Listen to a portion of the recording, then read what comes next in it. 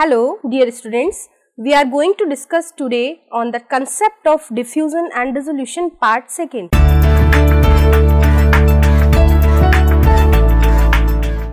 The dissolution test has evolved to become a definitive tool used to characterize the performance characteristic of solid dosage forms. As solid dosage form have become more unique over the last 40 years, dissolution apparatus have required continuous improvement and modification when necessary to provide suitable condition for performance testing.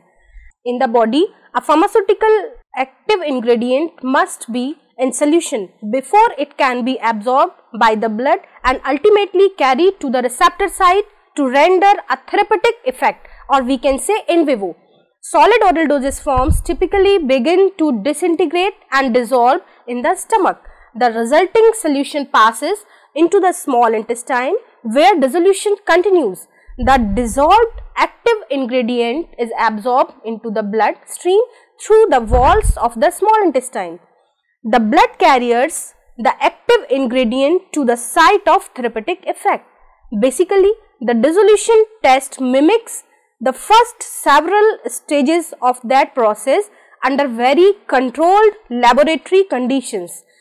Some conditions for immediate release products are wetting in the stomach, disintegration in the stomach, deaggregation in the stomach, dissolution in the stomach and intestine, permeation through the intestinal wall, absorption into the bloodstream, transit to the therapeutic site, decomposition and elimination. Dissolution may be defined as the movement of solid particulate matter into the solvent while in absolute temperature and solvent composition, the time required to move the unit amount of solid matter into the solution is called as dissolution. It can be considered as a specific type of reaction in which a mass transfer results as a net effective between deposition and movement of solute at a solid liquid interface from solid particular matter. Dissolution process is basically important for the permeation of drug through the biological membrane. Typically, process involved dissolution of solid dosage forms are showing on the screen. Here, the solid dosage form initially gets disintegrate into granules and further granules get disintegrated into fine particles leading to a dissolution and finally absorption. From this flow diagram, it could be can understand easily that the action of any drug formulation is dissolution rate limited or permeation rate limited but the solubility is the first and foremost requirement for the absorption of any drug because of specific characteristic of the biological membrane that is selective permeable. Now we move to the module 2. Here we will discuss all the theories of dissolution.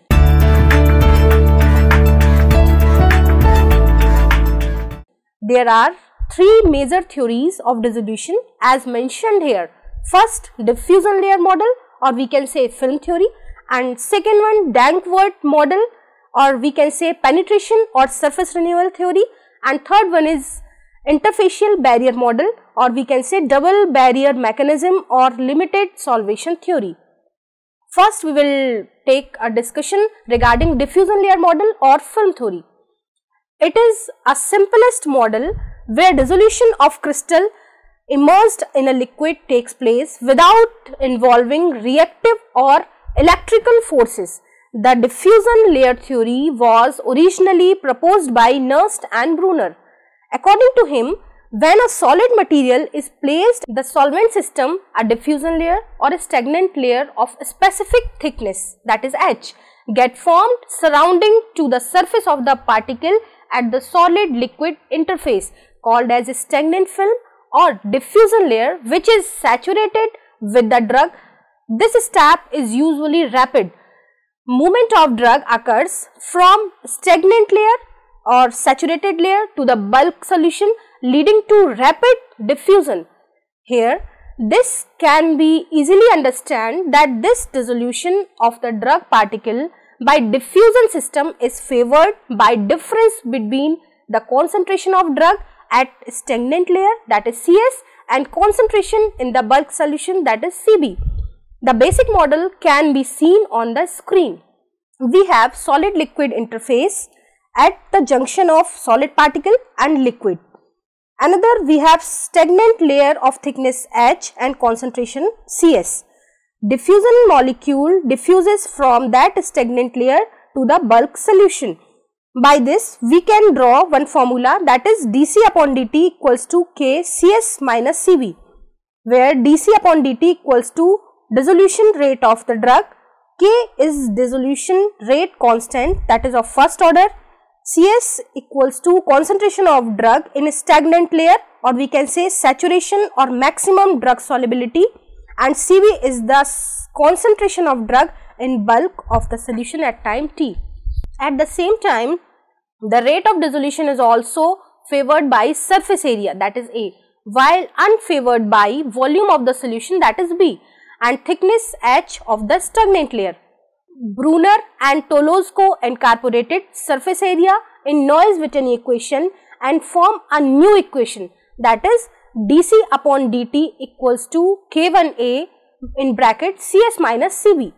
Afterwards, Brunner incorporated Fick's law of diffusion and expanded his given equation to include diffusion coefficient that is D, thickness of stagnant diffusion layer that is H and volume of dissolution medium that is B a new equation generated by Brunner is dC upon dt equals to dA water and oil in bracket Cs minus Cb upon V into H where D is diffusion coefficient of the drug, A equals to surface area of dissolving solid, K water in oil equals to water in oil partition coefficient of the drug considering the fact that dissolution body fluid are aqueous since the rapidity with which a drug dissolved depends on the partition coefficient of water in oil. It is also called as intrinsic dissolution rate constant where V is volume of dissolution medium, H is the thickness of stagnant layer where Cs minus Cb equals to concentration gradient for diffusion. This equation describes a first order dissolution kinetics. It represents Dissolution under non-sink condition. If volume is relatively large such as showing on your screen, the equation get further modified leading to a new equation. Cs is greater than Cv, so dC upon dt equals to AK water in oil upon VH into Cs. Cs and D are constant for each specific chemical substance dC upon dt equals to K1A upon VH. That is K1 equals to K water in oil into D into Cs. V and A kept constant during dissolution test. So, we can say dC upon dt equals to K. For obtaining in vitro in vivo correlation, sink condition can be achieved by replacing the saturated solution from the fresh solvent time to time increasing the volume of dissolution fluid or removing the dissolved drug by partitioning it from the aqueous phase to dissolution fluid into the organic phase placed either above or below the dissolution fluid for example hexane or chloroform.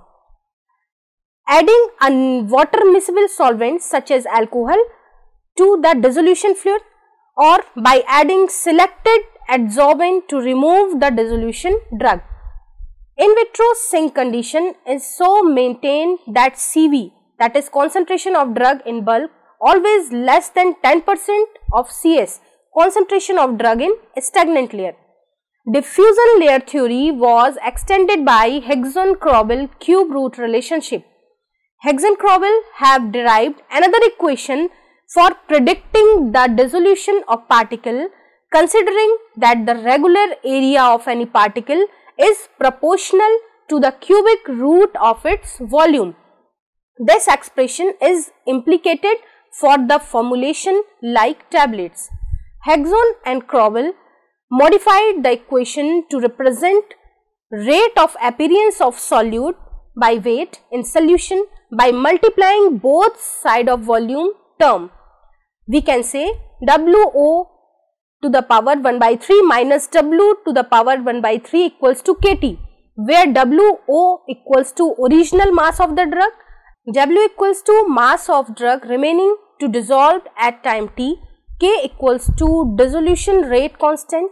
Second model of dissolution was given by Danckwerts that is penetration or surface renewal theory. This theory assumes that solvent move towards the saturated layer at the solid solution interface in the form of fresh solvent packets due to turbulence present in the system. This theory could be better understood by the equation and picture showing on your screen. Ci equals to initial concentration of drug at the surface and Cb equals to concentration of drug at the bulk fluid. Here we have seen that as the fresh packets get moved constantly at the interface, saturation never occurs at this point. At the similar time, as the system continuously forms turbulence, no stagnant layer gets formed while the surface continually being replaced with fresh liquid. The third model of dissolution is interfacial barrier model or we can say double barrier or limited solvation theory.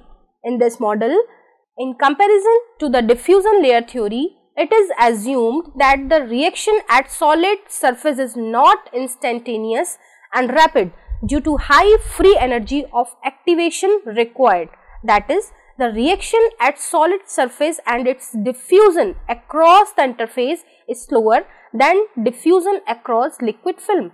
Therefore, the rate of solubility of solid in liquid film becomes the rate limiting than the diffusion of dissolved molecule that is G equals to Ki in bracket Cs minus Cv where G is dissolution per unit area, Ki equals to effective interfacial transport constant. In this theory, the diffusibility D may not be independent of saturation concentration that is Cs. The interfacial barrier model can be extended to both diffusion layer model and the Danckwerts model. Now we move to the next module that is module 3. Here we will discuss the importance and application of diffusion and dissolution.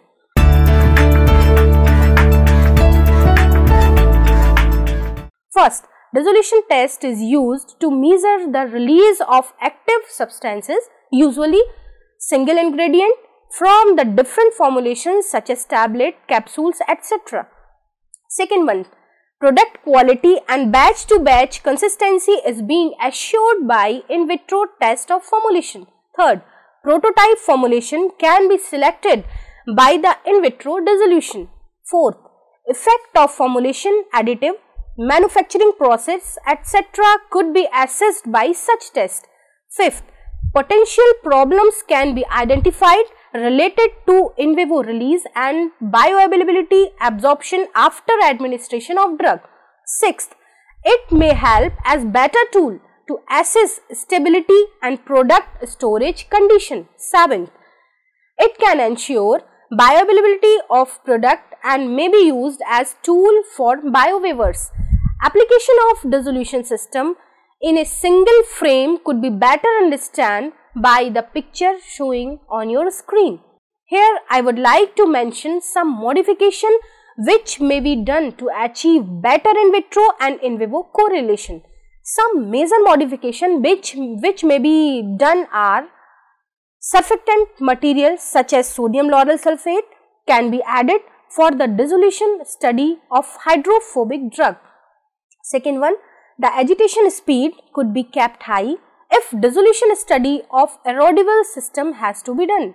Next, the pepsin and pancreatin like enzymes may be used to dissolve the shell of hard gelatin capsules. Vegetable oils can be added to study the effect of food.